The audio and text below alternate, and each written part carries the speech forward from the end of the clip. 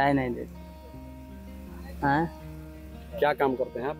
Furniture का दुकान है। फर्नीचर का नाम क्या हुआ आपका? सुबोध। कहाँ के रहने शादी से खुश हैं? जी जी खुश। घर कहाँ हुआ आपका? नाम क्या हो गया? रेखा कुमारी। रेखा कुमारी।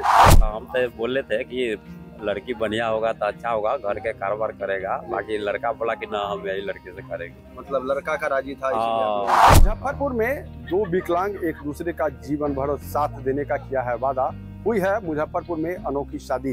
नमस्कार मैं मणिभूषण शर्मा और आप देख रहे हैं न्यूज़ फॉर आपको बता दें कि मुजफ्फरपुर में एक बार फिर अनोखी शादी देखने को मिली है जहाँ दो विकलांगों के द्वारा जो है दाम्पत्य जीवन बिताने के लिए सात जन्मों तक साथ निभाने के लिए परिणय सूत्र में बांधे गए हैं। आपको बता दें कि दरअसल पूरा मामला जो है मुजफ्फरपुर ज़िले के कांटी थाना क्षेत्र के कपरपुरा का है, जहाँ के रहने वाले युवक का साहेबगंज थाना क्षेत्र के एक माता के मंदिर में विधिवत शादी रचाई गई है और आज दोनों आदमी का रिसेप्शन है, जिसको लेकर हम उनसे बातचीत करने के लिए उनके घर पर पहुँचे हैं। आप तस्वीरों के माध्यम से देख सकते हैं कि अभी जो है रिसेप्शन की प्रक्रिया जो है वह चल रही है। तमाम लोग जो है वह यहाँ बर वधु को आशीर्वाद देने के लिए पहुँचे हैं और तमाम लोग जो है यहाँ जश्न मना रहे हैं। हमारे साथ जो है लड़का है पहले हम उनसे बात कर लेते हैं। सबसे पहले तो आपको बधाई हो शादी की।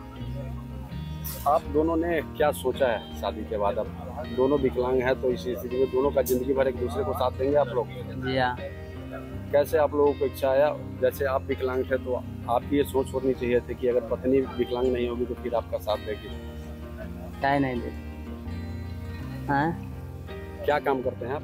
फर्नीचर का दुकान है फर्नीचर का नाम। क्या हुआ आपका? सुबोध। कहाँ के रहने वाले हो? कबरपुरा। कपरपुरा का तो आप खुश हैं शादी से?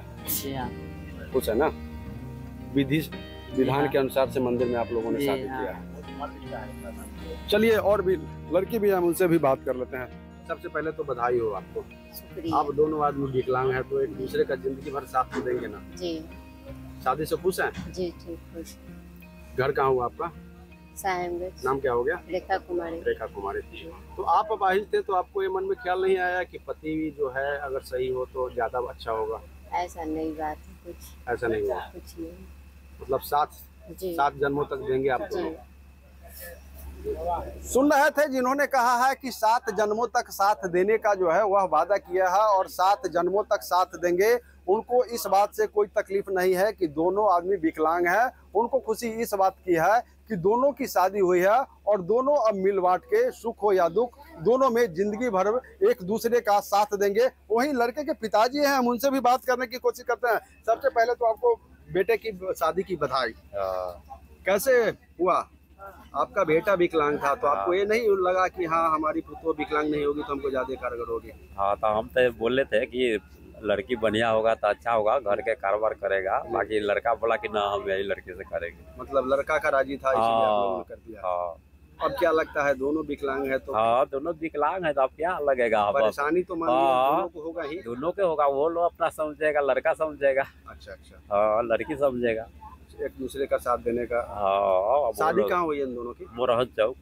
अति साहबगंज ब्लॉक में हुआ है मंजिल में। आप इस शादी से खुश है कि नहीं? हम तो खुश से अब हो गया था खुश न रहेंगे लड़का लड़की शादी है तो फिर हाँ, आपको हाँ, आप पिताजी हुए ना लड़का के? हाँ क्या नाम हुआ आपका? जगदीश राय। जगदीश राय। लड़के के पिताजी को सुन रहे थे।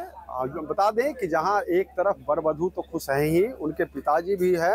उनका साफ़ साफ़ कहना है कि अगर वधु हमारा खुश है तो फिर हमें कोई परेशानी नहीं है। साथ ही उन्होंने कहा कि इस शादी से कहीं ना कहीं हम भी खुश हैं। और आपको बता दें कि न्यूज़ फाउंडेशन की टीम आज पहुँची थी यहाँ इस अनोखी शादी को दिखाने के लिए और न्यूज़ फाउंडेशन की टीम भी यह कामना करती है कि इन दोनों का दाम्पत्य जीवन जो है वो सुख सुखी पूर्वक बीते। न्यूज़ फाउंडेशन के लिए मुजफ्फरपुर से मणिभूषण शर्मा की रिपोर्ट।